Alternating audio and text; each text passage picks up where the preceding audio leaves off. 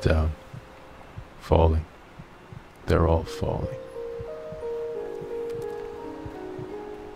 Everything is crumbling. Humanity corrupted. It's disgusting.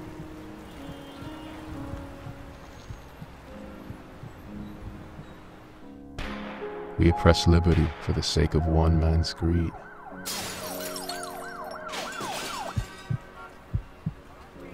Hurt the people we love, despite all they do for us. Exterminate individualism because we fear progress. We're lost. And yet, in my moment of despair, I still look up, searching the skies for an answer. Love, friendship, beauty, family.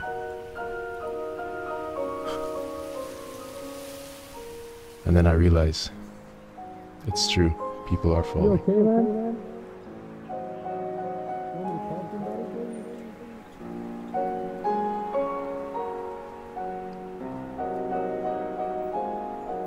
But how can anyone learn to fly if we do not fall first?